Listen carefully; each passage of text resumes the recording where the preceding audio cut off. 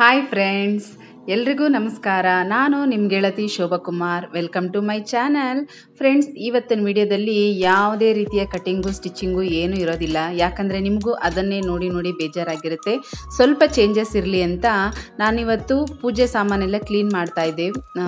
ಇವತ್ತು ಸೋಮವಾರ. ಆ್ಯಕ್ಚುಲಿ ನಾನು ಭಾನುವಾರನೇ ಎಲ್ಲ ಕೆಲಸ ಮಾಡ್ಕೋಬೇಕಾಗಿತ್ತು. ಯಾಕಂದರೆ ನಾನು ಆಲ್ರೆಡಿ ನಿಮಗೆ ನಾನು ಓದ್ ವಿಡಿಯೋದಲ್ಲಿ ಹೇಳ್ದಾಗೇ ದೇವಸ್ಥಾನಕ್ಕೆ ಹೋಗಿದ್ದು, ಅಲ್ಲಿಂದ ಬಂದು ಮನೆ ಕ್ಲೀನ್ ಮಾಡಿ, ಅಡುಗೆ ಮಾಡಿ ಅವತ್ತು ನನಗೆ ಟೈಮೇ ಸಿಗಲಿಲ್ಲ. ಹಾಗಾಗಿ ಸೋಮವಾರ ಬೆಳಗ್ಗೆನೇ ದೇವ್ರ ಸಾಮಾನೆಲ್ಲ ತೊಳೆದು ಪೂಜೆ ಮಾಡ್ತಾ ಇದ್ದೀನಿ. ಹಾಗಾಗಿ ಅದನ್ನು ಕೂಡ ನಾನು ನಿಮ್ಮ ಜೊತೆಗೆ ಶೇರ್ ಮಾಡ್ಕೊಳ್ಳೋಣ ಅಂತ ಇವತ್ತಿನ ವಿಡಿಯೋದಲ್ಲಿ ನಾನು ನಿಮಗೆ ಅದನ್ನು ಶೇರ್ ಮಾಡ್ಕೊಳ್ತಾ ಇದ್ದೀನಿ. ಪೂಜೆ ಸಾಮಾನು ಕ್ಲೀನಿಂಗ್ ಆಗಿರೋದು ಮತ್ತು ನಾನು ಯಾವ್ಯಾವ ರೀತಿ ಪೂಜೆ ಸಾಮಾನನ್ನು ಇಟ್ಕೊಂಡಿದ್ದೀನಿ. ಮತ್ತು ಪ್ರತಿದಿನ ಪೂಜೆ ಮಾಡುವಂಥ ಕಳಸ ನಾನು ಹೇಗೆ ರೆಡಿ ಮಾಡ್ಕೊಳ್ತೀನಿ, ಕಳಸದ ಒಳಗಡೆ ನಾನು ಏನೆಲ್ಲ ಹಾಕ್ತೀನಿ, ಮತ್ತು ಲಕ್ಷ್ಮಿ ಮುಖವಾಡಕ್ಕೆ ಸಿಂಪಲ್ಲಾಗಿ ನಾನು ಹೇಗೆ ಅಲಂಕಾರ ಮಾಡ್ತೀನಿ ಅನ್ನೋದನ್ನೆಲ್ಲನೂ ಕೂಡ ನಿಮ್ಮ ಜೊತೆಗೆ ಶೇರ್ ಮಾಡ್ಕೊಳ್ತಾ ಇದ್ದೀನಿ. ಬನ್ನಿ, ನೋಡ್ಕೊಂಡು ಬರೋಣ. ನೋಡಿ, ಎಲ್ಲ ತೊಳೆದಾಯಿತು. ಇವಾಗ ಎಲ್ಲನೂ ಹೀಗೆ ಒಂದು ಬಿಳಿ ಕಾಟನ್ ಬಟ್ಟೆ ಮೇಲೆ ಇಟ್ಟಿದ್ದೀನಿ. ನೀಟಾಗಿ ಇದನ್ನೆಲ್ಲ ಒರೆಸಿ, ಆಮೇಲೆ ಇದಕ್ಕೆ ಅರಶಿನ, ಕುಂಕುಮ ಎಲ್ಲನೂ ಕೂಡ ಹಚ್ಚಿ ನಾನು ಜೋಡಿಸ್ಕೊಳ್ತಾ ಇದ್ದೀನಿ. ನೋಡ್ತಾ ಇರ್ಬೋದು. ನೀವು ಸ್ವಲ್ಪನೇ ಇಟ್ಕೊಂಡಿದ್ದೀನಿ ತುಂಬ ಜಾಸ್ತಿ ಏನಿಲ್ಲ. ಇದೆಲ್ಲನೂ ಕೂಡ ಎಲ್ಲ ನೀಟಾಗಿ ತೊಳೆದಾಯಿತು. ನಾನು ಪೀತಾಂಬರಿಯಿಂದನೇ ತೊಳೆದಿರೋದು. ಇದಕ್ಕೆಲ್ಲ ಬೇರೆ ರೀತಿ ಯಾವುದನ್ನು ಬೆಳ್ಳಿ ಸಾಮಾನು ತೊಳೆಯೋಕ್ಕಾಗಿರಲಿ, ಹಿತ್ತಾಳೆ ಸಾಮಾನು ತೊಳೆಯೋಕ್ಕಾಗಿರಲಿ ಸಪ್ ಸಪ್ರೇಟ್ ಅಂತ ಲಿಕ್ವಿಡು ಆ ರೀತಿಯೆಲ್ಲ ಎಲ್ಲ ಏನು ಯೂಸ್ ಮಾಡಿಲ್ಲ. ಎರಡಕ್ಕೂ ನಾನು ಪೀತಾಂಬರಿನೇ ಯೂಸ್ ಮಾಡಿ ತೊಳೆದಿರೋ ಅಂಥದ್ದು ಅದು ಪ್ರತಿ ವಾರ ಕ್ಲೀನ್ ಮಾಡ್ಕೊಳ್ಳೋದ್ರಿಂದ ಚೆನ್ನಾಗೇ ಕಾಣಿಸುತ್ತೆ. ನೋಡಿ, ಪುಟಾಣಿ ಲಕ್ಷ್ಮಿ ತುಂಬ ವರ್ಷ ಆಯಿತು. ಹಾಗಾಗಿ ತುಂಬ ಜೋಪಾನವಾಗಿ ಇಟ್ಕೊಂಡು ಪೂಜೆ ಮಾಡ್ತಾ ಇದ್ದೀನಿ ನಾನು ಅದನ್ನು. ನೋಡಿ, ಇದು ಪುಟ್ಟು ಕೃಷ್ಣ. ಯಾವ ವಿಗ್ರಹಗಳು ತುಂ ಕೂಡ ತುಂಬಾ ದೊಡ್ಡದನ್ನು ಇಟ್ಕೊಂಡಿಲ್ಲ ನಾನು. ಪುಟ್ಟು ಕೃಷ್ಣ, ಪುಟ್ಟು ಲಕ್ಷ್ಮಿ. ಮತ್ತು ಇದು ಮಧುರ ಮೀನಾಕ್ಷಿ. ಎಲ್ಲ ವಿಗ್ರಹಗಳು ಕೂಡ ತುಂಬಾ ಚಿಕ್ಕ ಚಿಕ್ಕದಾಗಿ ಇಟ್ಕೊಂಡಿದ್ದೀನಿ. ಈ ವಿಗ್ರಹಗಳೆಲ್ಲ ಶಬರಿಮಲೆಗೆಲ್ಲ ಹೋದಾಗ ಆ ಕಡೆ ಎಲ್ಲ ಟ್ರಿಪ್ ಹೋಗ್ತಾ ಇರ್ತಾರಲ್ಲ ಆವಾಗ ತಂದಿರುವಂಥದ್ದು. ಇದು ಕಾಶಿ ಲಿಂಗ. ನನ್ನ ಮಗ ಟ್ಯೂಷನ್ಗೆ ಹೋಗ್ತಾ ಇದ್ದ. ಅಲ್ಲಿ ಟೀಚರ್ ಕಾಶಿಗೆ ಹೋಗಿದ್ರು. ಅವರು ನನಗೋಸ್ಕರ ತಂದುಕೊಟ್ಟಿರೋದು ಒಂದು ವಿಷ್ಣು ಪಾದ ಮತ್ತು ಗಂಗಾಜಲ ತುಂಬಿರುವಂಥ ಒಂದು ಪುಟ್ಟು ತಾಮ್ರದ ಚೊಂಬು ಮತ್ತು ಲಿಂಗ ತಂದುಕೊಟ್ಟಿದ್ರು. ಪುಟಾಣಿ ಸಾಯಿಬಾಬಾ ಇಟ್ಕೊಂಡಿದ್ದೀನಿ. ತುಂಬ ಚಿಕ್ಕ ಚಿಕ್ಕ ವಿಗ್ರಹಗಳನ್ನು ಇಟ್ಕೊಂಡಿದ್ದೀನಿ. ಇದು ನೋಡಿ ಪೂರ್ತಿ ಗುಂಡಿಗಿರುವಂಥ ಅಡಿಕೆ ಮತ್ತು ಇದೊಂದು ಲಕ್ಷ್ಮಿ ಕಾಯಿನು. ಇದೆರಡನ್ನು ಕೂಡ ನಾನು ಕಳಸದ ಚುಂಬೊಳಗಡೆ ಹಾಕಿರ್ತೀನಿ. ಯಾವಾಗಲೂ ಹಾಕಿರ್ತೀನಿ. ಪ್ರತಿದಿನ ಪೂಜೆ ಮಾಡುವಂಥ ಕಳಸದ ಚೊಂಬಲ್ಲಿ ಈ ಎರಡನ್ನು ಕೂಡ ನಾನು ಹಾಕಿರ್ತೀನಿ. ಇದ್ರ ಬಗ್ಗೆನೇ ನಾನೊಂದು ವಿಡಿಯೋ ಕೂಡ ಮಾಡಿದ್ದೆ. ಬೇಕಿದ್ರೆ ನೋಡೋ ಇಂಟ್ರೆಸ್ಟ್ ಇರೋರು ನೋಡ್ಬೋದು. ನಾನು ಅದನ್ನು ಲಿಂಕನ್ನು ಡಿಸ್ಕ್ರಿಪ್ಷನ್ ಬಾಕ್ಸಲ್ಲಿ ಕೊಟ್ಟಿರ್ತೀನಿ. ಮತ್ತು ಒಂದು ರುದ್ರಾಕ್ಷಿ ಇಟ್ಟಿರ್ತೀನಿ ಯಾವಾಗಲೂ ಶಿವಲಿಂಗದ ಮುಂದೆ. ಮತ್ತು ತುಪ್ಪದ ಬತ್ತಿ ಹಚ್ಚೋದಕ್ಕೆ ಇದೊಂದು ಪಂಚಪತ್ರೆ ಉದ್ಧರಣೆ. ಮತ್ತು ಇದು ನೋಡ್ತಾ ಇರ್ಬೋದು. ನೋಡಿ ಇದು ಆಮೆ ಇದಕ್ಕೆ ನೀರು ತುಂಬಿಸಿ ಇಡುವಂಥದ್ದು. ಇದು ನನ್ನ ಫ್ರೆಂಡ್ ಪ್ರತಿಮಾ ಆಲ್ರೆಡಿ ನಿಮಗೆ ಪರಿಚಯ ಮಾಡಿಸ್ಕೊಟ್ಟಿದ್ದೀನಿ. ಅವರು ಶಿರಡಿಗೆ ಹೋದಾಗ ತಂದುಕೊಟ್ಟಿದ್ದಂಥದ್ದು. ತುಂಬಾ ಚೆನ್ನಾಗಿದೆ. ನಮ್ಮ ನಾಲ್ಕು ಜನ ಫ್ರೆಂಡ್ಸ್ಗೂ ತಂದುಕೊಟ್ಟಿದ್ದಾರೆ. ತುಂಬ ಇಷ್ಟ ಆಯಿತು. ಈ ಥರದ್ದು ಒಂದು ಪೀಸು ಮತ್ತೆ ನಾವು ಬೇರೆ ಯಾರಿಗಾದ್ರೂ ಗಿಫ್ಟ್ ಕೊಡೋಣ ಅಂತ ಹುಡುಕಿದ್ವಿ. ಇಲ್ಲೆಲ್ಲೂ ಸಿಕ್ಕಿಲ್ಲ ಈ ಥರದ್ದು. ನೀಟಾಗಿ ನೀರು ಹಾಕಿದ್ರೆ ಕ್ಲೀನಾಗಿ ಮುಳುಗುತ್ತೆ ಆಮೆ. ಮತ್ತು ಇದೊಂದು ಬಟ್ಲಲ್ಲಿ ನಾನು ಈ ಕಡ್ಗೋಲನ್ನು ಅಕ್ಕಿ ಹಾಕಿ ಅದ್ರ ಮೇಲೆ ಈ ರೀತಿ ಕಡಗೋಲನ್ನು ಇಟ್ಟಿರ್ತೀನಿ. ಯಾವಾಗಲೂ ಕಳಸದ ಪಕ್ಕದಲ್ಲಿ ಇಟ್ಟಿರ್ತೀನಿ. ಇದನ್ನು ಕೂಡ ನಾನು ಬೇರೆ ಬೇರೆ ವೀಡಿಯೋಸ್ನ ನೋಡಿನೇ ಕಲ್ತ್ಕೊಂಡಿದ್ದು, ಈ ರೀತಿ ಕಡಗೋಲನ್ನು ಇಡಬೇಕು, ಅದೆಲ್ಲನೂ ಕೂಡ ತಿಳ್ಕೊಂಡಿದ್ದು. ನೋಡಿ, ನಾನು ಪ್ರತಿದಿನ ಪೂಜೆ ಮಾಡೋವಂಥ ಲಕ್ಷ್ಮೀ ಮುಖವಾಡ ಇದು ಯಾವಾಗಲೂ ನಾನು ಕಳಸಕ್ಕೆ ಹಾಕಿರ್ತೀನಿ. ನಾನು ಈ ಹಿಂದಿನ ವೀಡಿಯೋಸ್ ಎಲ್ಲ ಶೇರ್ ಮಾಡಿದ್ದೀನಿ. ಅದರಲ್ಲೆಲ್ಲ ನೋಡಿರೋರಿಗೆ ಗೊತ್ತಿರುತ್ತೆ. ಫ್ರೆಂಡ್ಸ್ ವಿಡಿಯೋ ಇನ್ನೂ ಕಂಟಿನ್ಯೂ ಆಗುತ್ತೆ. ಎಲ್ಲೂ ಕೂಡ ಸ್ಕಿಪ್ ಮಾಡದೆ. ಕಂಪ್ಲೀಟಾಗಿ ವಾಚ್ ಮಾಡಿ. ಮತ್ತು ಈ ವಿಡಿಯೋ ನಿಮಗೆ ಇಷ್ಟ ಆಯಿತು ಅಂದರೆ ಲೈಕ್ ಮಾಡೋದನ್ನು ಮಾತ್ರ ಮರಿಬೇಡಿ. ಹಾಗೆ ಯಾರೆಲ್ಲ ಇನ್ನೂ ಸಬ್ಸ್ಕ್ರೈಬ್ ಮಾಡ್ಕೊಳ್ದಿರ ವೀಡಿಯೋಸ್ ನೋಡ್ತಾ ಇದ್ದೀರಾ ಪ್ಲೀಸ್ ನಮ್ಮ ಚಾನಲ್ನ ಸಬ್ಸ್ಕ್ರೈಬ್ ಮಾಡ್ಕೊಂಡು ಸಪೋರ್ಟ್ ಮಾಡಿ ಅಂತ ಕೇಳ್ಕೊಳ್ತಾ ಇದ್ದೀನಿ. ಮತ್ತು ಈ ಪ್ಲೇಟು ನಾನು ಕಳಸದ ಕೆಳಗಡೆ ಇಡುವಂಥ ಪ್ಲೇಟು. ತುಂಬಾ ಚೆನ್ನಾಗಿದೆ. ಇದು ಅಮ್ಮ ಕೊಟ್ಟಿರೋದು. ನನಗೆ ಇದು ತುಂಬಾ ಇಷ್ಟ. ನಾನು ಹಾಗಾಗಿ ಇದನ್ನು ಬದಲಾಯಿಸೋಕೆ ಹೋಗಿಲ್ಲ. ಈ ರೀತಿ ಹಿತ್ತಾಳೆ ಪ್ಲೇಟನ್ನೇ ನಾನು ಕಳಸದ ಕೆಳಗಡೆ ಇಡ್ತಾ ಇದ್ದೀನಿ. ನೀವು ನೋಡ್ತಾ ಇರ್ಬೋದು ಇದರಲ್ಲಿ ಅಷ್ಟದಳ ಪದ್ಮನೂ ಇದೆ. ಮತ್ತು ಸ್ವಸ್ತಿಕ್ ಇದೆ. ಮತ್ತು ಲಕ್ಷ್ಮಿಗೆ ಪ್ರಿಯವಾದಂಥ ಎಲ್ಲ ವಸ್ತುಗಳ ಚಿತ್ರ ಕೂಡ ಈ ಪ್ಲೇಟಲ್ಲಿ ಇದೆ. ಏನಾದರೂ ಇದನ್ನು ಕೂಡ ಬೆಳ್ಳಿದೆ ತಗೋಬೇಕು ಅಂತ ಏನಾದ್ರು ಅಂದರೆ ಇದನ್ನು ತೋರಿಸಿ ಆರ್ಡ್ರ್ ಕೊಟ್ಟು ಮಾಡಿಸ್ಕೊಳ್ಬೇಕಾಗತ್ತೆ. ಹಾಗಾಗಿ ನಾನು ಪರವಾಗಿಲ್ಲ ಇದೇ ಇರಲಿ ಅಂತ ಇಟ್ಕೊಂಡಿದ್ದೀನಿ. ಈ ಪ್ಲೇಟು ತುಂಬ ಗಟ್ಟಿಯಾಗಿ ತುಂಬ ಚೆನ್ನಾಗಿದೆ. ಅದರಲ್ಲೂ ಅಮ್ಮ ಕೊಟ್ಟಿರೋದು. ಹಾಗಾಗಿ ನನಗೆ ಅದನ್ನು ಬದಲಾಯಿಸೋಕ್ಕೂ ಇಷ್ಟ ಇಲ್ಲ. ಅದನ್ನೇ ಇಟ್ಕೊಂಡಿದ್ದೀನಿ. ಮತ್ತು ಈ ಎಲ್ಲ ಬೆಳ್ಳಿ ಸಾಮಾನುಗಳನ್ನು ಅಷ್ಟೇ. ಒಂದೇ ಸಲಗೆ ನಾನೇನು ತೊಗೊಂಡಿಲ್ಲ. ವರಮಹಾಲಕ್ಷ್ಮಿ ಹಬ್ಬಕ್ಕೆ ಒಂದೊಂದು ವರ್ಷಕ್ಕೆ ಒಂದೊಂದು ಒಂದು ಸಲ ಚಿಕ್ಕ ಸಾಮಾನು ತೊಗೊಂಡಿರ್ತೀನಿ ಒಂದು ಸಲ ಸ್ವಲ್ಪ ದೊಡ್ಡದಾಗಿ ತೊಗೊಂಡಿರ್ತೀನಿ ಅಷ್ಟೇ ಮತ್ತು ಈಗ ನಮಗೆಲ್ಲ ಅಂದರೆ ಆಸೆಗಳು ಇದ್ದೇ ಇರುತ್ತೆ, ಆದರೆ ಒಂದೇ ಸಲ ತೊಗೊಳಕ್ಕೆ ಆಗಬೇಕಲ್ಲ, ಏನು ಮಾಡೋದು? ಮತ್ತು ನನ್ನ ಹತ್ರ ಇರೋ ವಿಗ್ರಹಗಳಲ್ಲಿ ಇದೊಂದೇ ಸ್ವಲ್ಪ ದೊಡ್ಡದಾಗಿರುವಂಥ ಲಕ್ಷ್ಮಿ ವಿಗ್ರಹ. ಇದು ನಮ್ಮ ಮದುವೆಗೆ ಮುಂಚೆನೇ ನಮ್ಮ ಅತ್ತೆಯವರು ಇಟ್ಟು ಪೂಜೆ ಮಾಡ್ತಾ ಇದ್ರು. ಅಂದರೆ ಅವಾಗೆಲ್ಲ ಮನೆ ಹತ್ರನೇ ಬರೋರು ಹಿತ್ತಾಳೆ ಸಾಮಾನೆಲ್ಲ ಹಳೆ ಸಾಮಾನುಗಳು ಕೊಟ್ಟರೆ ಅದನ್ನು ಕರಗಿಸಿ ಅಲ್ಲೇ ವಿಗ್ರಹ ಮಾಡಿ ಕೊಡೋರು. ಆ ರೀತಿ ಮಾಡಿಸಿರುವಂಥ ಲಕ್ಷ್ಮಿ ವಿಗ್ರಹ ಅದು. ಮತ್ತು ನಾನು ಈ ಬೆಳ್ಳಿ ಸಾಮಾನು ಬಗ್ಗೆ ಹೇಳ್ತಾ ಇದ್ದೆ. ನೋಡಿ, ಇದು ತುಪ್ಪದ ಬತ್ತಿ ಹಚ್ಚೋದು. ಒಂದು ಮೂರು ವರ್ಷ ಆಗಿದೆ ಇದು ತೊಗೊಂಡು. ನಾನು ಮಾಘ ಮಾಸ ವ್ರತ ಶುರು ಮಾಡಿದ್ದೆ. ಆಗ ಈ ಅರಳಿಕಟ್ಟೆ ಹತ್ರ ಎಲ್ಲ ತುಪ್ಪದ ಬತ್ತಿ ಹಚ್ಚಿ ಆಮೇಲೆ ಅರಳಿ ಕ, ಮರಕ್ಕೆಲ್ಲ ಪೂಜೆ ಮಾಡಿ, ಅಲ್ಲಿ ಕಥೆಯನ್ನು ಓದಿ ಪೂಜೆ ಮಾಡೋರು. ನಾನು ಫಸ್ಟ್ ವರ್ಷ ಹೋದಾಗ ಅದೆಲ್ಲ ನೋಡ್ತಾ ಇದ್ನಲ್ಲ. ಆಮೇಲೆ ನಾನು ಕೂಡ ತೊಗೊಂಡೆ. ಮತ್ತು ಈ ಒಂದು ಪ್ಲೇಟು ಕೂಡ ಅಷ್ಟೇ ನನಗೆ ತುಂಬ ಇಷ್ಟ ಆಗಿತ್ತು. ಇದನ್ನು ಕೂಡ ಅಮ್ಮನೇ ಕೊಟ್ಟಿರೋದು. ಹಾಗಾಗಿ ಇದನ್ನು ಚೇಂಜ್ ಮಾಡಿಲ್ಲ. ತುಂಬ ಚೆನ್ನಾಗಿದೆ. ಪರವಾಗಿಲ್ಲ ಇದರಲ್ಲೇ ಆರತಿ ಮಾಡ್ಬೋದು ಅಂತೇಳಿ ನಾನು ಇದನ್ನು ಕೂಡ ಬದಲಾಯಿಸಿಲ್ಲ. ಹಾಗೆ ಇಟ್ಟಿದ್ದೀನಿ. ಕೆಂಪು ಆರತಿ ಮಾಡೋದಕ್ಕಾಗಿರ್ಬೋದು, ನೈವೇದ್ಯ ಇಡೋದಕ್ಕಾಗಿರ್ಬೋದು, ಈ ರೀತಿ ತುಪ್ಪದ ಆರತಿ ಮಾಡೋದಕ್ಕೆ ತುಂಬ ಚೆನ್ನಾಗಿದೆ. ಅದಕ್ಕೆ ಕೂಡ ನಾನು ಅದನ್ನು ಬದಲಾಯಿಸಿಲ್ಲ. ಮತ್ತು ನೋಡಿ, ನಾನು ಆಲ್ರೆಡಿ ಆಮೆ ಬಗ್ಗೆ ಹೇಳಿದ್ದೆ ನಾನು. ತುಂಬ ಜನ ಮನೆಗಳಲ್ಲಿ ಇಟ್ಟಿರ್ತಾರೆ. ವಾಸ್ತು ಪ್ರಕಾರನೂ ಕೂಡ ಇದನ್ನು ಮನೆಯಲ್ಲಿ ಮತ್ತು ನಾವು ಕೆಲಸ ಮಾಡೋ ಜಾಗದಲ್ಲಿ ಬಿಸ್ನೆಸ್ ಮಾಡೋ ಜಾಗದಲ್ಲೂ ಕೂಡ ಇಟ್ಕೋಬೇಕು ಅಂತ ಹೇಳ್ತಾರೆ. ತುಂಬಾ ಚೆನ್ನಾಗಿದೆ ಅದೆಲ್ಲನೂ ಕೂಡ. ಮತ್ತು ಈ ಸಣ್ಣ ಸಣ್ಣ ವಿಗ್ರಹಗಳು ನೋಡಿ, ಯಾವಾಗಲೂ ಅಷ್ಟೇ ಮನೆಯಲ್ಲಿ ತುಂಬ ದೊಡ್ಡದಾಗಿ ಇಟ್ಕೋಬಾರ್ದು, ದೊಡ್ಡ ದೊಡ್ಡ ಎತ್ತರವಾಗಿರುವಂಥ ವಿಗ್ರಹಗಳು ಇಡಬಾರ್ದು. ನಾವು ಈ ರೀತಿ ಮುಷ್ಟಿ ಮಾಡಿದಾಗ ನಮ್ಮ ಕೈಯಿಂದ ಹೊರಗಡೆ ಕಾಣಿಸ್ಬಾರ್ದು ವಿಗ್ರಹಗಳು. ಅಷ್ಟು ಚಿಕ್ಕದಾಗಿರುವಂಥ ವಿಗ್ರಹಗಳನ್ನೇ ಇಟ್ಕೋಬೇಕು. ತುಂಬಾ ಒಳ್ಳೆಯದು ಅವಾಗ. ನಾವು ತುಂಬ ದೊಡ್ಡ ವಿಗ್ರಹಗಳನ್ನ ಇಟ್ಕೊಂಡ್ರೆ ಪ್ರತಿದಿನ ಅದಕ್ಕೆ ಅಭಿಷೇಕ, ನೈವೇದ್ಯ ಎಲ್ಲನೂ ಮಾಡಬೇಕಾಗತ್ತೆ.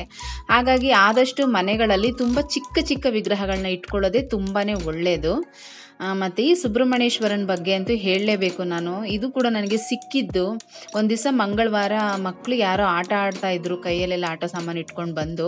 ಮತ್ತು ಆಟ ಆಡ್ಕೊಂಡು ಅವ್ರು ಹೋಗುವಾಗ ಇದೊಂದನ್ನು ಅಲ್ಲೇ ಬಿಟ್ಟೊಟ್ಟೋಗಿದ್ರು ನಾನು ಎತ್ತಿಟ್ಟಿದ್ದೆ, ಮತ್ತೆ ಬಂದು ಕೇಳ್ತಾರೇನೋ ಅಂತ ಬರಲಿಲ್ಲ. ಆದರೂ ಒಂಥರ ಸೆಂಟಿಮೆಂಟ್ ಅಲ್ವಾ, ಮಂಗಳವಾರ ಎಲ್ಲೋ ನನಗೋಸ್ಕರನೇ ಬಿಟ್ಟೋಗಿರ್ಬೋದು ಅನ್ನೋ ಒಂದು ಫೀಲಿಂಗಲ್ಲಿ ನಾನು ಅದನ್ನು ಎತ್ತಿಟ್ಕೊಂಡು ಪೂಜೆ ಮಾಡ್ತಾ ಇದ್ದೀನಿ. ಹಾಗಾಗಿ ಅದನ್ನು ಬದಲಾಯಿಸಿಲ್ಲ.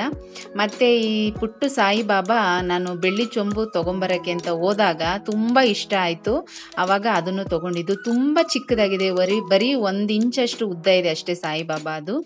ಮತ್ತು ಇದು ವಿಷ್ಣು ಪಾದ ನಾನು ಆಗಲೇ ಹೇಳಿದ್ದೆ ನಿಮಗೆ.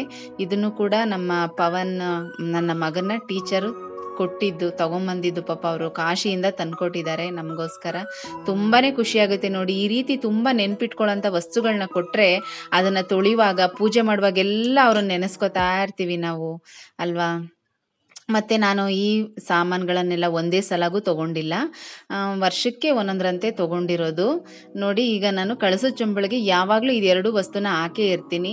ಮತ್ತು ಈ ಲಕ್ಷ್ಮೀ ಪೂಜೆ ಮಾಡೋ ಟೈಮಲ್ಲಿ ಕಳಸದೊಳಗಡೆ ಇನ್ನೊಂದು ವಸ್ತುನ ಹಾಕ್ತಾ ಇರ್ತೀನಿ. ಅದೇನಪ್ಪ ಅಂತಂದರೆ ಲಾವಂಚ ಬೇರನ್ನು ಹಾಕ್ತೀನಿ. ಅದ್ರದ್ದು ಕೂಡ ನಾನು ಆಲ್ರೆಡಿ ವಿಡಿಯೋನ ಶೇರ್ ಮಾಡಿದ್ದೀನಿ. ಲಿಂಕನ್ನು ಕೊಟ್ಟಿರ್ತೀನಿ ಡಿಸ್ಕ್ರಿಪ್ಷನ್ ಬಾಕ್ಸಲ್ಲಿ. ಬೇಕಾಗಿದ್ದರೆ ನೋಡ್ಬೋದು. ತುಂಬಾ ಒಳ್ಳೆಯದು ಫ್ರೆಂಡ್ಸ್. ಅದ್ರ ಬಗ್ಗೆನೂ ತುಂಬಾ ಮಾಹಿತಿಯನ್ನು ಕೊಟ್ಟಿದ್ದೀನಿ. ಆ, ತಿಳ್ಕೊಳ್ಳೋಂಥ ಆಸಕ್ತಿ ಇದ್ದರೆ ನೀವು ಆ ವಿಡಿಯೋನು ಕೂಡ ನೋಡ್ಬೋದು. ಮತ್ತು ಇದು ಕಾಮಾಕ್ಷಿ ದೀಪ ನಾನು ಇದನ್ನು ಕೂಡ ಬದಲಾಯಿಸಿಲ್ಲ ಫ್ರೆಂಡ್ಸ್ ಯಾಕಂದರೆ ಕಾಮಾಕ್ಷಿ ದೀಪ ಹಿತ್ತಾಳೆ ದೀಪನೇ ಹಚ್ಚಿದ್ರೆ ತುಂಬ ಒಳ್ಳೆಯದು ಮತ್ತು ನಾನು ಇದು ತಗೊಳ್ಳೋವಾಗ ನನಗೆ ಇದರಲ್ಲಿ ಲಾಭ ನಷ್ಟನ ಎಣಿಸ್ಬೇಕು ಅನ್ನೋದು ಗೊತ್ತಿರಲಿಲ್ಲ. ಸುಮಾರು ಜನ ಮನೆಯಲ್ಲಿ ನೋಡ್ತಾ ಇದ್ನಲ್ಲ ನಮ್ಮನೇಲೂ ಹಚ್ಚಬೇಕು ಅನ್ನೋ ಆಸೆಯಿಂದ ನಾನು ತೊಗೊಂಬಂದಿದ್ದು. ಆಮೇಲೆ ಒಂದಷ್ಟು ವೀಡಿಯೋಸ್ನ ನೋಡೋವಾಗ ಗೊತ್ತಾಯಿತು ಇದನ್ನು ಹೇಗೆ ಲಾಭ ನಷ್ಟನ ಎಣಿಸ್ಬೇಕು ಅಂತ. ಆಮೇಲೆ ನಾನು ಎಣಿಸಿದಾಗ ಇದರಲ್ಲಿ ಲಾಭನೇ ಬಂದಿತ್ತು. ಹಾಗಾಗಿ ಕಂಟಿನ್ಯೂ ಮಾಡ್ತಾ ಇದ್ದೀನಿ. ಮತ್ತು ನನಗೆ ಅದನ್ನು ಬದಲಾಯಿಸೋಕ್ಕೂ ಕೂಡ ಇಷ್ಟ ಆಗಿಲ್ಲ. ತುಂಬ ಚೆನ್ನಾಗಿದೆ, ಗಟ್ಟಿಯಾಗಿ. ಹಾಗಾಗಿ ಅದನ್ನೇ ಹಚ್ಚುತ್ತಾ ಇದ್ದೀನಿ. ಮತ್ತೆ ನಾನು ಈ ದೀಪದ ಬಗ್ಗೆನೂ ಹೇಳ್ಬೇಕು. ಇದೆಲ್ಲಾನು ಅಷ್ಟೇ, ನಾವೀಗ ವರಮಹಾಲಕ್ಷ್ಮಿ ಹಬ್ಬ ಆಗಿ ಮುಂದಿನ ತಿಂಗಳಿಂದ ಕಾರ್ಡ್ಗಳು ಕಟ್ಟಕ್ಕೆ ಶುರು ಮಾಡ್ತೀವಿ. ಐನೂರು ಸಾವಿರ, ಎರಡು ಸಾವಿರ ಎಷ್ಟು ಬೇಕಾದರೂ ಕಟ್ಬೋದು. ನಾವು ಎಷ್ಟು ಕಟ್ತಾ ಇರ್ತೀವೋ ಅವರು ಅದರದ್ದು ಎರಡು ತಿಂಗಳಷ್ಟು ಅಮೌಂಟನ್ನು ನಮಗೆ ಕೊನೆಯಲ್ಲಿ ಸೇರಿಸಿ ಕೊಡ್ತಾರೆ. ಅಷ್ಟು ದುಡ್ಡಿಗೆ ನಮಗೆ ಏನು ಬೇಕೋ ಅದನ್ನು ತೊಗೋಬೋದು. ಈ ರೀತಿ ಮಾಡೋದ್ರಿಂದ ನಮಗೂ ಕೂಡ ತುಂಬಾ ಯೂಸ್ ಆಗುತ್ತೆ. ಒಂದೇ ಸಲಗೆ ದುಡ್ಡು ಇನ್ವೆಸ್ಟ್ ಮಾಡೋದಕ್ಕೆ ಆಗಲ್ಲ ಹಾಗಾಗಿ ಈ ಥರ ಅಲ್ಪ ಸ್ವಲ್ಪ ಉಳಿತಾಯ ಮಾಡಿದ್ರೆ ನಾವು ಇಷ್ಟು ಸೇರಿಸಿಟ್ಟಿದ್ದೀವಿ ಮತ್ತು ನೀವು ಸ್ವಲ್ಪ ಕೊಡಿ ಅಂದರೆ ಹಸ್ಬೆಂಡು ಕೂಡ ಖುಷಿಯಾಗೆ ಕೊಡ್ತಾರೆ ತಗೊಳ್ಳಿ ಏನು ಬೇಕೋ ಅದು ಅಂತ ಹೇಳಿ. ಆ, ರೀತಿನೇ ತಗೊಂಡು ಇಷ್ಟು ಪೂಜೆ ಸಾಮಾನ ನಾನು ತಗೊಂಡಿರೋ ಅಂತ ಮತ್ತೆ ಇದೊಂದು ಕಾಸಿನ ಸರದ ಬಗ್ಗೆ ನಾನು ಹೇಳಲೇಬೇಕು. ಇದು ಅಷ್ಟೇ ಸುಮಾರು ಒಂದು ಮೂರು ನಾಲ್ಕು ವರ್ಷ ಆಗಿದೆ ಅಂದ್ಕೊಳ್ತೀನಿ ಒಂದು ಹೀಗೇನೆ ವರಮಹಾಲಕ್ಷ್ಮಿ ಹಬ್ಬಕ್ಕೆ ಗಂಗೆ ಅಂಗಡಿಗೆ ಏನೋ ಸಾಮಾನುಗಳು ತೊಗೊಂಬರಕ್ಕೆ ಹೋದಾಗ ಅದನ್ನ ನೋಡಿ ತುಂಬ ಇಷ್ಟ ಆಯಿತು. ಬರೀ ಐವತ್ತು ರೂಪಾಯಿ ಅಷ್ಟೇ ಅದಕ್ಕೆ ಕೊಟ್ಟಿರೋದು. ಆದರೆ ನೋಡಿ ನಾವು ಎಷ್ಟು ವಾಶ್ ಮಾಡ್ತಾ ಇರ್ತೀವೋ ಅಷ್ಟು ಕೂಡ ಶೈನಿಂಗ್ ಆಗಿ ಚೆನ್ನಾಗೇ ಇದೆ. ಹಾಗಾಗಿ ನಾನು ಅದನ್ನು ಕೂಡ ಬದಲಾಯಿಸಿಲ್ಲ. ಎಲ್ಲನೂ ತೊಳೆದು ಚೆನ್ನಾಗಿ ಕಳಸಕ್ಕೆ ಅಲಂಕಾರ ಮಾಡಿ ಅದನ್ನು ಹಾಕಿ ಪೂಜೆ ಮಾಡುವಾಗ ತುಂಬ ಚೆನ್ನಾಗಿ ಕಾಣಿಸ್ತಾ ಇರುತ್ತೆ. ಅದನ್ನು ಕೂಡ ನಾನು ಶೇರ್ ಮಾಡಿದ್ದೀನಿ. ನೀವು ವಿಡಿಯೋ ಕೊನೆ ತನಕ ನೋಡಿದ್ರೆ ನಿಮಗೆ ಗೊತ್ತಾಗತ್ತೆ. ತುಂಬ ಚೆನ್ನಾಗಿ ಅನ್ನಿಸ್ತು. ಮತ್ತು ಇದೆಲ್ಲ ಪೀಠಗಳು, ಇದೇನು ಬೆಳ್ಳಿದಲ್ಲ, ಮಾಮೂಲಿ ಸಿಲ್ವರ್ ಅಷ್ಟೇ ಪೀಠಗಳು ದೀಪ ಇಡೋದಕ್ಕೆ ಗಂಟೆ ಇಡೋದಕ್ಕೆ ಈ ರೀತಿ ತಗೊಂಡಿದ್ದೀನಿ ನಾನು. ನೆಲದ ಮೇಲೆ ಇಡಬಾರ್ದು ಅಂತ. ಮತ್ತೆ ವಿಗ್ರಹಗಳನ್ನು ಇಡೋದಿಕ್ಕೆ ಕಾಮಾಕ್ಷಿ ದೀಪ ಇಡೋದಕ್ಕೆ ಅಂತ ತಗೊಂಡಿರೋ ಅಂಥದ್ದು ಮತ್ತೆ ನಾವು, ನಾನು ವೈಭವ ಲಕ್ಷ್ಮಿ ಪೂಜೆದು ವಿಡಿಯೋದಲ್ಲೂ ಕೂಡ ಶೇರ್ ಮಾಡಿದ್ದೀನಿ. ಈ ಸಲ ನಾನು ಕುಂಕುಮಕ್ಕೆ ಕೊಡೋರ್ಗೆಲ್ಲರಿಗೂ ಕೂಡ ಈ ರೀತಿ ಪೀಠವನ್ನೇ ಕೊಟ್ಟಿದ್ದೆ. ನೀವು ಆ ವಿಡಿಯೋನು ಕೂಡ ನೋಡ್ತೀನಿ ಅಂದರೆ ಖಂಡಿತವಾಗ್ಲೂ ನೋಡಿ. ನಾನು ಲಿಂಕನ್ನು ಡಿಸ್ಕ್ರಿಪ್ಷನ್ ಬಾಕ್ಸಲ್ಲಿ ಒಂದು ನಾಲ್ಕು ವಿಡಿಯೋದು ಲಿಂಕನ್ನು ಕೊಟ್ಟಿರ್ತೀನಿ. ನೀವು ನೋಡ್ಬೋದು ಫ್ರೆಂಡ್ಸ್, ಯಾರಿಗಾದರೂ ಯೂಸ್ ಆಗೋಂಥವ್ರಿಗೆ ಈ ರೀತಿ ಪೂಜೆ ವ್ರತಗಳ ಬಗ್ಗೆ ತುಂಬಾ ಆಸಕ್ತಿ ಇದೆ. ಮಾಡ್ತೀನಿ ಅನ್ನೋರಿಗೆ ಖಂಡಿತವಾಗ್ಲೂ ಯೂಸ್ ಆಗುತ್ತೆ ಒಳ್ಳೆಯದು ಕೂಡ ಆಗುತ್ತೆ. ಈಗ ನಾನು ನೋಡಿ ಸಿಂಪಲಾಗಿ ಪ್ರತಿ ವಾರ ನಾನು ಹೇಗೆ ಲಕ್ಷ್ಮಿ ಮುಖವಾಡಕ್ಕೆ ಒಂದು ಸಿಂಪಲಾಗಿ ಅಲಂಕಾರವನ್ನು ಮಾಡಿ ಪೂಜೆ ಮಾಡ್ತೀನಿ ಅನ್ನೋದನ್ನು ನಾನು ತೋರಿಸ್ತಾ ಇದ್ದೀನಿ. ನನಗೆ ಈ ರೀತಿ ಎಲ್ಲ ಅಲಂಕಾರ ಮಾಡೋದಕ್ಕೆ ತುಂಬಾ ಇಷ್ಟ. ಸ್ವಲ್ಪ ಅರಿಶಿನ ಕಲಸಿಟ್ಕೊಂಡಿದ್ದೀನಿ. ಬೇಕಿದ್ರೆ ಅದ್ರ ಜೊತೆಗೆ ಸ್ವಲ್ಪ ಗಂಧನೂ ಕೂಡ ಮಿಕ್ಸ್ ಮಾಡ್ಕೊಳ್ಬೋದು. ಒಳ್ಳೆ ಚೆನ್ನಾಗಿರೋ ಅರಿಶಿನ ಆದರೆ ಚೆನ್ನಾಗಿ ಕಾಣಿಸುತ್ತೆ ಮತ್ತು ಚೆನ್ನಾಗಿರುತ್ತೆ. ಯಾವಾಗಲೂ ಅಷ್ಟೇ ಗೋಪುರಂ ಅರಶಿನ ಪುಡಿಯನ್ನೇ ತಗೋಬೇಕು ಯೂಸ್ ಮಾಡಬೇಕು. ಅದರಿಂದ ತುಂಬ ಚೆನ್ನಾಗಿರುತ್ತೆ ಸ್ಮೆಲ್ ಕೂಡ ತುಂಬ ಚೆನ್ನಾಗಿರುತ್ತೆ. ನಾನಂತೂ ಯಾವಾಗಲೂ ಗೋಪುರಮ್ಮೇ ತಗೊಳ್ಳೋದು ಅರಿಶಿನ, ಕುಂಕುಮ ಎಲ್ಲನೂ ಕೂಡ ಬೇರೆ ಯಾವುದನ್ನು ನಾನು ಯೂಸ್ ಮಾಡೋದೇ ಇಲ್ಲ.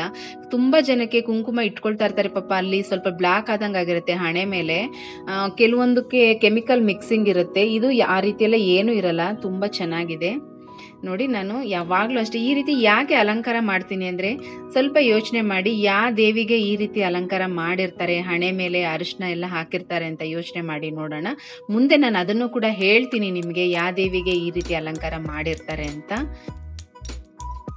ತುಂಬ ಈ ರೀತಿ ಎಲ್ಲ ಅಲಂಕಾರ ಮಾಡಿ ಪೂಜೆ ಮಾಡೋದಂದರೆ ತುಂಬಾ ಇಷ್ಟ. ಸಾಕಷ್ಟು ಟೈಮ್ ತಗೊಳ್ತೀನಿ, ಆರಾಮಾಗಿ ನಿಧಾನಕ್ಕೆ ಪೂಜೆ ಮಾಡಬೇಕು. ಹಾಗಾಗಿನೇ ನಾನು ಒಂದಿನ ಮುಂಚೆನೇ ಎಲ್ಲನೂ ರೆಡಿ ಮಾಡ್ಕೊಳ್ತೀನಿ. ನೋಡಿ, ಸ್ವಲ್ಪ ಕ್ಲೀನಾಗಿ ಅದನ್ನೆಲ್ಲ ಶೇಪ್ ಬರಲಿ ಅಂತ ಒಂದು ಕಡ್ಡಿಯನ್ನು ತಗೊಂಡು ಕ್ಲೀನಾಗಿ ಈ ರೀತಿ ಮಾಡ್ತಾ ಇದ್ದೀನಿ. ಫ್ರೆಂಡ್ಸ್ ನಿಮಗೆ ಈ ರೀತಿಯ ವಿಡಿಯೋಗಳು ಇಷ್ಟ ಆಗುತ್ತೆ ಅಂದರೆ ನನಗೆ ಪ್ಲೀಸ್ ಕಮೆಂಟ್ ಮಾಡಿ ತಿಳಿಸಿ. ನಾನು ತಿಳ್ಕೊಂಡಿರೋ ಅಷ್ಟು ಮಟ್ಟಿಗೆ ಆದಷ್ಟು ಪೂಜೆ ಬಗ್ಗೆ ಮಾಹಿತಿಯನ್ನು ನಿಮ್ಮ ಜೊತೆಗೆ ಶೇರ್ ಮಾಡ್ಕೊಳ್ತಾ ಇರ್ತೀನಿ. ಈಗ ಅರಿಶಿನ, ಕುಂಕುಮ ಎಲ್ಲನೂ ಹಚ್ಚಿ ಈ ಒಂದು ಅಲಂಕಾರ ಮುಗೀತು. ಈಗ ಕಣ್ಣಿಗೆ ಮತ್ತೆ ಉಬ್ಬಿಗೆ ಹೈಲೈನರಿಂದ ಅಲಂಕಾರನ ಮಾಡ್ತಾ ಇದ್ದೀನಿ, ಮಾಡ್ತೀನಿ. ಮತ್ತೆ ನಾನು ಈಗ ಈ ದೇವರಿಗೆ ಅಂತ ಉಪಯೋಗಿಸೋದನ್ನ ಮತ್ತೆ ನಾನು ನನಗೆ ಉಪಯೋಗಿಸ್ಕೊಳ್ಳೋದಿಲ್ಲ. ಮತ್ತೆ ನಾನು ಈ ದೇವ್ರ ಪೂಜೆಗೆ ಅಂತ ಅದನ್ನು ಸಪ್ರೇಟಾಗಿ ಇಟ್ಬಿಟ್ಟಿರ್ತೀನಿ. ಒಂದು ನೇಲ್ ಪಾಲಿಶು ಹಣೆ ಮೇಲೆ ಒಂದು ಬೊಟ್ಟು ಥರ ಇಟ್ಟಿದ್ದೆ. ಮತ್ತು ತುಟಿಗೆ ಸ್ವಲ್ಪ ಹಚ್ಚಿದ್ದೀನಿ. ಅದನ್ನು ಕೂಡ ಅಷ್ಟೇ ಸಪ್ರೇಟಾಗಿ ಇಟ್ಬಿಟ್ಟಿರ್ತೀನಿ. ಮತ್ತು ನಾವು ಅದನ್ನೆಲ್ಲ ಉಪಯೋಗ್ಸೋಕೆ ಹೋಗಲ್ಲ. ನಾವು ಉಪಯೋಗಿಸೋ ಅಂಥದ್ದನ್ನು ಕೂಡ ನಾನು ದೇವ್ರಿಗೆ ಉಪಯೋಗಿಸೋದಿಲ್ಲ. ಸಪ್ರೇಟಾಗಿ ಇಟ್ಟಿರ್ತೀನಿ. ತೊಳಿವಾಗ ಸ್ವಲ್ಪ ಅದೆಲ್ಲ ಏನಾದರೂ ಹೋಗಿದೆ ಅಂತ ಅನಿಸಿದ್ರೆ ಮತ್ತೆ ಇನ್ನೊಂದ್ಸಲ ಹಚ್ತೀನಿ. ಫ್ರೆಂಡ್ಸ್ ಈ ಒಂದು ಸಿಂಪಲ್ ಆಗಿ ಮಾಡಿರೋಂಥ ಅಲಂಕಾರ ಹೇಗೆ ಕಾಣ್ತಾ ಇದೆ ಅಂತ ಪ್ಲೀಸ್ ನನಗೆ ಕಮೆಂಟ್ ಮಾಡಿ ಹೇಳಿ. ಮತ್ತೆ ನೋಡಿ ಯಾವ ದೇವಿಗೆ ಈ ರೀತಿ ಅಲಂಕಾರ ಮಾಡಿರ್ತಾರೆ ಅಂದರೆ ಕೊಲ್ಲಾಪುರದ ಲಕ್ಷ್ಮೀ ದೇವಿಗೆ ಈ ರೀತಿ ಅಲಂಕಾರ ಮಾಡಿರ್ತಾರೆ. ನನಗೆ ಅದನ್ನು ನೋಡಿದಾಗಿಂದನೂ ತುಂಬ ಇಷ್ಟ. ಹಾಗಾಗಿ ಯಾವಾಗಲೂ ಅಷ್ಟೇ ನಾನು ಪ್ರತಿ ವಾರನೂ ಹೀಗೇ ಮಾಡಿ ಇಟ್ಟಿರ್ತೀನಿ. ನನಗೆ ತುಂಬ ಇಷ್ಟ ಆಗುತ್ತೆ. ಈಗ ಅರಿಶಿನ, ಕುಂಕುಮ ಎಲ್ಲ ಹಚ್ಚಿ ಅಲಂಕಾರ ಮಾಡಾಯಿತು. ಈಗ ಹೂವನ್ನು ಇಟ್ಟು ಅಲಂಕಾರ ಮಾಡಬೇಕು. ಪೂರ್ತಿ ರೆಡಿ ಆದಮೇಲೆ ನಿಮಗೆ ತೋರಿಸ್ತೀನಿ ಹೇಗೆ ಕಾಣ್ತಾ ಇದೆ ಅಂತ. ಅಂತ ನನಗೆ ಹೇಳಿ. ನೋಡಿ, ಪೂಜೆಗೆ ಅಂತ ಸ್ವಲ್ಪ ದಾಸವಾಳ ಎರಡು ಹೂ ಗಿಡದಲ್ಲೇ ಬಿಟ್ಟಿತ್ತು. ಕಳಸಕ್ಕೆ ಸ್ವಲ್ಪ ಮಲ್ಲಿಗೆ ಹೂವು ಮತ್ತು ಇವತ್ತು ಸೋಮವಾರ ಆಗಿರೋದ್ರಿಂದ ನಾನು ಬಿಲ್ಪತ್ರೆಯನ್ನು ಕೂಡ ಪೂಜೆಗೆ ಉಪಯೋಗಿಸ್ಕೊಳ್ತಾ ಇದ್ದೀನಿ. ಯಾವಾಗಲೂ ಅಷ್ಟೇ ಫ್ರೆಂಡ್ಸ್ ಪ್ರತಿದಿನ ನೀವು ಪೂಜೆಗೆ ಬಿಲ್ಪತ್ರೆಯನ್ನು ಉಪಯೋಗಿಸಿ ಅದರಲ್ಲಿರುವಂಥ ಶಕ್ತಿ ತುಂಬಾ ಒಳ್ಳೆಯದು. ನಾನು ಅದನ್ನು ಕೂಡ ನಾನು ಹಿಂದಿನ ವಿಡಿಯೋಗಳಲ್ಲಿ ಶೇರ್ ಮಾಡ್ಕೊಂಡಿದ್ದೀನಿ. ಅದರದ್ದೆಲ್ಲ ಲಿಂಕನ್ನು ಕೊಟ್ಟಿರ್ತೀನಿ. ಯಾರಾದರೂ ಇನ್ನೂ ನೋಡೋ ಇಂಟ್ರೆಸ್ಟ್ ಇದ್ದರೆ ಆ ವಿಡಿಯೋಸ್ನೆಲ್ಲ ನೋಡಿ ಮತ್ತು ಅದರ ಉಪಯೋಗನ ನೀವು ಪಡ್ಕೋಬೋದು. ಮತ್ತು ಈಗ ಬೇಸಿಗೆ ಆಗಿರೋದ್ರಿಂದ ತುಂಬ ನೀರು ಆಮೇನಲ್ಲಿ ಆಗ್ತಾ ಇದ್ರೆ ಬೇಗ ಅದು ಒಣಗ್ದಂಗೆ ಆಗ್ಬಿಡತ್ತೆ ಅದಕ್ಕೆ ನಾನೀಗ ಅಕ್ಕಿಯನ್ನು ತುಂಬಿಸಿಟ್ಟಿದ್ದೀನಿ. ಅದನ್ನು ಕೂಡ ತುಂಬಾ ಒಳ್ಳೆಯದಾಗತ್ತೆ ಮತ್ತು ನೀವು ನೋಡ್ತಾ ಇರ್ಬೋದು, ಪುಟ್ಟು ಶಿವಲಿಂಗಕ್ಕೆ ನಾನು ಸ್ವಲ್ಪ ಮಲ್ಲಿಗೆ ಹೂವು ಮತ್ತು ಬಿಲ್ ಬಿಲ್ಪತ್ರೆಯನ್ನು ಹಾಕಿ ಪೂಜೆ ಮಾಡಿದ್ದೀನಿ. ಈ ಕಡೆ ಲಕ್ಷ್ಮಿಗೂ ಕೂಡ ಸ್ವಲ್ಪ ಬಿಲ್ಪತ್ರೆ ಮತ್ತು ಹೊಸದಾಗಿ ಮಲ್ಲಿಗೆ ಹೂವಿನ ಗಿಡ ಹಾಕಿದ್ದೀನಿ ನಾನು. ಚಿಕ್ಕದು ಏಳು ಸುತ್ತಿನ ಮಲ್ಲಿಗೆದು ಒಂದೇ ಒಂದು ಇವತ್ತು ಹೂವು ಅರಳಿತ್ತು. ಅದನ್ನು ಕೂಡ ಮೊದಲು ಲಕ್ಷ್ಮಿಗೇನೆ ಇಟ್ಟಿದ್ದೀನಿ. ಮತ್ತು ನೋಡಿ ಕಾಮಾಕ್ಷಿ ದೀಪವನ್ನು ನಾನು ಉತ್ತರಕ್ಕೆ ತಿರುಗಿಸಿ ಇಟ್ಟಿದ್ದೀನಿ. ಅದಕ್ಕೂ ಕೂಡ ಸ್ವಲ್ಪ ಮಲ್ಲಿಗೆ ಹೂವು ಮತ್ತು ಒಂದು ಕೆಂಪು ಹೂವನ್ನು ಇಟ್ಟು ನಾನು ಅಲಂಕಾರ ಮಾಡಿದ್ದೀನಿ. ಇವತ್ತು ಎರಡು ದಾಸವಾಳ ಬಿಟ್ಟಿತ್ತು. ಒಂದನ್ನು ಕಳಿಸೋಕ್ಕೆ ಮತ್ತು ಇನ್ನೊಂದನ್ನು ಗಣೇಶನಿಗೆ ಇಟ್ಟಿದ್ದೀನಿ. ಇಷ್ಟೇ ಫ್ರೆಂಡ್ಸ್ ನಾನು ಇಷ್ಟೇ ಸಿಂಪಲ್ಲಾಗಿ ಪೂಜೆ ಮಾಡೋ ಅಂಥದ್ದು. ಆದರೂ ನಾವೆಷ್ಟೇ ಸರಳವಾಗಿ ಪೂಜೆ ಮಾಡಿದ್ರೂ ನೆಮ್ಮದಿಯಾಗಿ ಮಾಡಬೇಕಲ್ವಾ? ಮತ್ತು ಈ ಬಿಲ್ಪತ್ರೆ ಬಗ್ಗೆ ಅಂತೂ ಹೇಳಿದ್ರೆ ಎಷ್ಟು ಹೇಳಿದ್ರೂ ಮುಗಿಯೋದೇ ಇಲ್ಲ. ಈ ರೀತಿ ಪೂಜೆ ಎಲ್ಲ ಆದಮೇಲೆ ಮಕ್ಕಳಿಗೆ ಆಗಲಿ, ಮತ್ತು ಯಜಮಾನ್ರಿಗೆ ಆಗಲಿ, ನಾವೇ ಆಗಲಿ, ಹೊರಗಡೆ ಹೋಗುವಾಗ ಸ್ವಲ್ಪ ಅದನ್ನು ಪರ್ಸಲ್ಲೋ, ಜೇಬಲ್ಲೋ ಇಟ್ಕೊಂಡು ಹೋದರೆ ತುಂಬಾ ಒಳ್ಳೆಯದು ಮತ್ತು ನೋಡಿ ಲಕ್ಷ್ಮಿ ಫೋಟೋಗೆ ನಾನು ಈ ರೀತಿ ಒಂದು ನವಿಲ್ಗರಿಯನ್ನು ಕೂಡ ಇಟ್ಟಿದ್ದೀನಿ. ಇದೆಲ್ಲ ಮತ್ತು ಪೂಜೆ ಬುಕ್ಗಳು. ನಾನು ಇನ್ನಷ್ಟು ಬುಕ್ಗಳನ್ನ ನಾನು ಇಟ್ಕೊಂಡಿದ್ದೀನಿ. ಅದೇನಾದರೂ ನೀವು ತಿಳ್ಕೊಬೇಕು ಅಂತ ಇದ್ದರೆ ನನಗೆ ಕಮೆಂಟ್ ಮಾಡಿ ತಿಳಿಸಿದ್ರೆ ನಾನು ಯಾವ್ಯಾವ ಪೂಜಾ ವ್ರತದ ಬುಕ್ಗಳನ್ನು ಇಟ್ಕೊಂಡಿದ್ದೀನಿ ಅದೆಲ್ಲನೂ ಕೂಡ ನಿಮ್ಮ ಜೊತೆಗೆ ಶೇರ್ ಮಾಡ್ಕೊಳ್ತೀನಿ. ನಾನು ಈ ಕನಕದಾರ ಸ್ತೋತ್ರದ ಬಗ್ಗೆ ಅದು ಹೇಗೆ ಓದಬೇಕು, ಅದು ಓದೋದ್ರಿಂದನೂ ಏನೆಲ್ಲ ಪ್ರಯೋಜನ ಇದೆ ಅನ್ನೋದನ್ನು ಕೂಡ ನಾನು ಹಳೆ ವಿಡಿಯೋದಲ್ಲೆಲ್ಲ ಶೇರ್ ಮಾಡಿದ್ದೀನಿ. ಈ ನಿತ್ಯ ಪ್ರಾರ್ಥನಾ ಸ್ತೋತ್ರ ಪುಸ್ತಕ ಮಾತ್ರ ಅದು ಒಂದಿದ್ರೆ ಸಾಕು. ನಮ್ಮ ಹತ್ರ ಪ್ರತಿದಿನ ನಾವು ಆಯಾ ದೇವರಿಗೆ ಸಂಬಂಧಪಟ್ಟ ಹಾಗೆ ಅಷ್ಟೋತ್ತರ ಆಗಿರ್ಬೋದು, ಮಂತ್ರಗಳಾಗಿರ್ಬೋದು, ಎಲ್ಲಾನು ಕೊಟ್ಟಿರ್ತಾರೆ. ನಾವು ಆಯಾ ವಾರ ಆ ಮಂತ್ರಗಳನ್ನು ಓದ್ಕೊಂಡು ಪೂಜೆ ಮಾಡ್ಕೋಬೋದು. ಇದು ಪೂಜೆ ಎಲ್ಲ ಆಗಿದೆ ಇವಾಗ. ತುಪ್ಪದ ಆರತಿ ಎಲ್ಲನೂ ಮಾಡಿ ಇಟ್ಟಿದ್ದೀನಿ. ಪೂಜೆ ಆದಮೇಲೆ ನಾನು ನಿಮಗೆ ತೋರಿಸ್ತಾ ಇದ್ದೀನಿ. ಪ್ಲೀಸ್ ಹೇಗೆ ಕಾಣಿಸುತ್ತೆ ಅಂತ ಹೇಳಿ. ಮತ್ತು ಈ ಒಂದು ವಿಡಿಯೋ ನಿಮಗೆ ಇಷ್ಟ ಆಗಿದ್ರೆ, ಈ ನನ್ನ ಪೂಜಾ ಮಾಹಿತಿ ನಿಮಗೇನಾದರೂ ಉಪಯೋಗ ಆಗತ್ತೆ ಅಂತ ಅನಿಸಿದ್ರೆ ದಯವಿಟ್ಟು ವಿಡಿಯೋನ ಪೂರ್ತಿ ನೋಡಿ ಸಪೋರ್ಟ್ ಮಾಡಿ.